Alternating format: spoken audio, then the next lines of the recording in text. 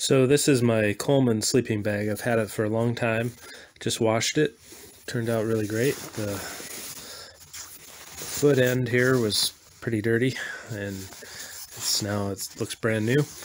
Smells good, looks good. The only problem is I can't get the zipper started.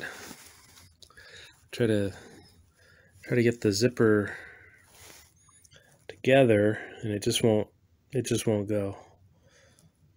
So I'm going to try a few things. I put some chapstick on the teeth just right down here in the in the bottom at the start here and that hasn't helped. So I'm going to try some soap.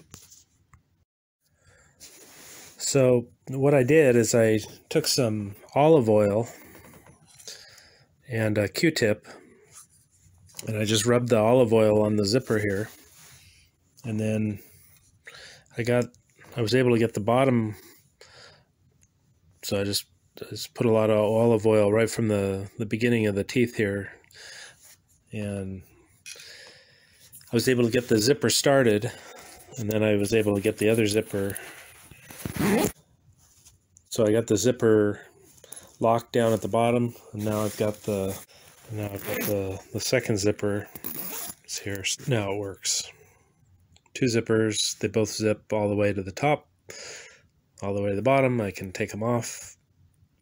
So the olive oil seemed to do the best job. I didn't try the soap and uh, chapstick. I put some chapstick on, but it, it was still tough to, to get this first first zipper going here. So that seemed to work.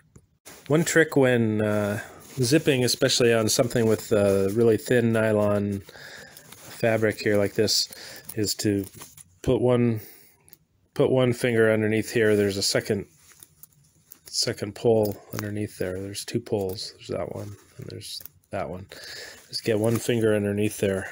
Keep your finger underneath there. That will guide. That'll help keep that that extra fabric or the, the extra material out of the teeth. And then then you can zip up zip up your 30 year old Coleman hollow fill sleeping bag. This this sleeping bag is so warm.